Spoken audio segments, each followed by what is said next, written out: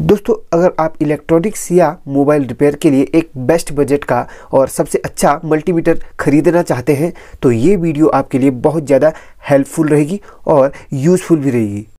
तो वीडियो को पूरा देखिएगा स्किप मत कीजिए और हाँ चैनल पर नए हैं तो चैनल को सब्सक्राइब करके बेल आइकन को प्रेस कर लीजिए और इस वीडियो को लाइक करके ज़्यादा से ज़्यादा शेयर कीजिए। तो चलिए वीडियो को स्टार्ट करते हैं।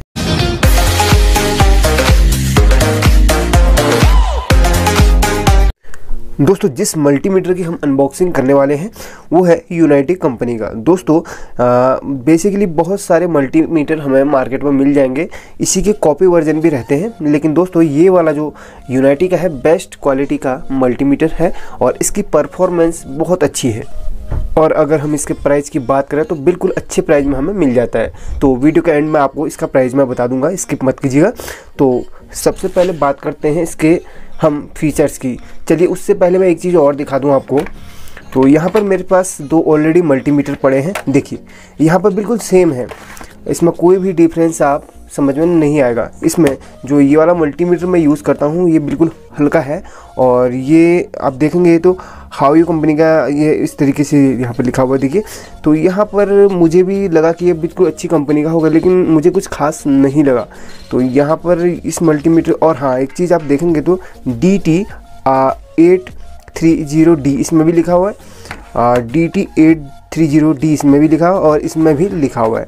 और देखें इसमें यूनाइटी यहाँ पर यूनाइटी लिखा हुआ है और इसमें यूनिट ई लिखा हुआ है।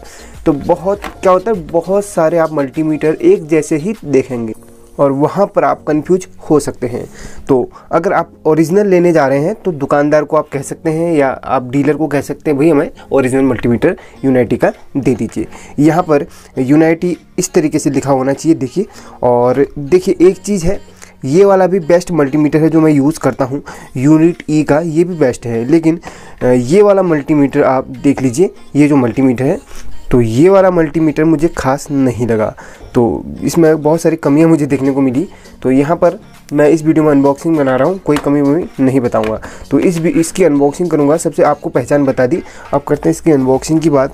आ, सबसे पहले अनबॉक्सिंग से पहले भी एक चीज़ और इसमें दिखा देता हूँ इसमें आपको क्या क्या देखने को मिल जाएगा। बेसिकली जैसा सभी मल्टीमीटर हो, में होता है वैसे ही आपको देखने को मिल जाएगा। DC volt AC volt DC ampere register के ओम्स आप देखने को इसमें देख सकते हैं। आप डायोड मोड में इसको डायोड चेक कर सकते हैं बजर तो इस तरीके से बहुत सारी चीज़ें हैं आप चेक कर सकते हैं। बेसिकली जो नए हैं उनको शायद पता नहीं होगा और जो पुराने हैं उनको अच्छी तरीके से पता होगा इसका यूज़ किस तरीके से किया जाता है। और हाँ इसको यूज़ करने की वीडियो आप देखना चाहते हैं तो ऊपर आई बटन में इसकी लिंक मैं दे दूँगा। बहुत अच्छी तरीके से वहाँ पर आपको समझ में आ जाएगा। तो आप करते हैं इसके अनबॉक्सिंग की बात। चलिए इसको मैं कट कर लेता हूँ। तो यहाँ पर इस तरीके से मैं कट करने के बाद जल्दी से इसको निकाल लेता हूँ। चलिए मल्टीमीटर निकल के आ चुका है। यहाँ पर इसका यूज़र मैनुअल यहाँ पर हमें मिल जाएगा। अगर आपको अच्छी तरीके से इंग्लिश पढ़नी आती है तो आप इसको अच्छी तरीके से इसके इंस्ट्रक्शन वगैरह पढ़ सकते हैं। तो अब मैं यहाँ पर मल्टीमीटर को मैंने निकाल लिया है और बिल्कुल अच्छी खासी बॉडी में और सॉलिड बॉडी में यहाँ आता है, जो एक चीज़, एक ख़ास बात यूनाइटी की मुझे लगी, बहुत अच्छी खासी बॉडी में और बिल्कुल अच्छे खासे वेट में हमें मिल जाता है। तो ज़्यादा वेट नहीं है, कुछ ग्राम से में ही हो सकता है। तो अब बात करते हैं इसके इंटरफेस की। तो यहाँ पर देखिए कुछ इस तरीके का इंटरफेस आपको देखने को मिलेगा और यहाँ पर कुछ वार्निंग वगैरह इसमें लिखी हुई है, जो आप पढ़ सकते हैं। और बात करते हैं इसको चलाने की। तो यहाँ पर देखिए, यहाँ पर ये जो सेक्शन है, ये एसी वोल्टेज को चेक करने का सेक्शन होगा। यहाँ पर आप देख सकते हैं, साढ़े सात सौ वोल्ट और दो सौ वोल्ट यहाँ पर दो सौ तक और यहाँ पर आप साढ़े सात सौ तक आप हाँ एक चीज़ देखेंगे, जहाँ पर भी आप देख रहे हैं, यहाँ तक होगा। यहाँ से ऊपर को, फिर दूसरे सेक्शन में जैसे 200 तक हमने चेक करनी है तो यहाँ पर, और साढ़े सात सौ तक चेक करनी है। 200 से साढ़े सात सौ के ऊपर चेक करनी है तो ये है। अब बात करते हैं एम्पियर की।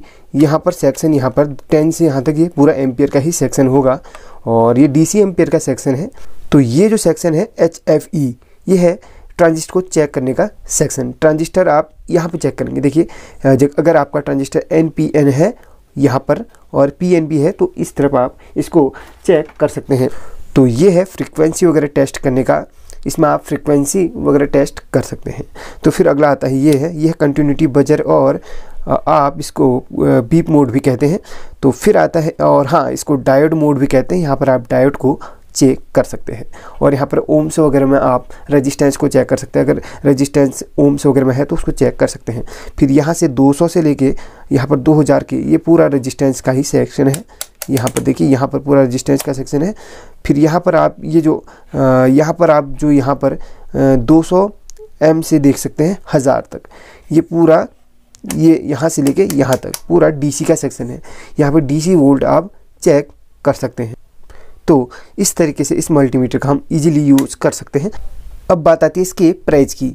तो अगर इसके प्राइस की हम बात करें तो आप अगर दिल्ली से या वहाँ से कोई नज़दीक की जगह से लेते हैं तो आपको बहुत सस्ता पड़ जाएगा। लेकिन मैं दिल्ली से बहुत ज़्यादा दूर रहता हूँ तो मेरे को फ़िलहाल यह डेढ़ सौ रुपये में यह पड़ गया है।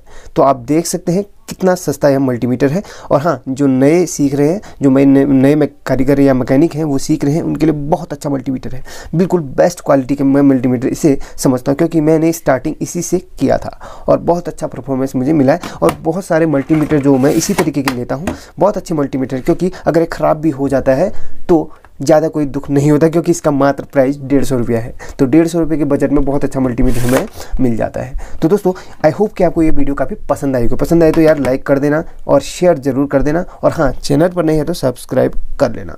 तो आज के लिए बस इतना ही। फिर मिलते अगली वीडियो में। तब तक के लिए जय हिंद, जय भारत।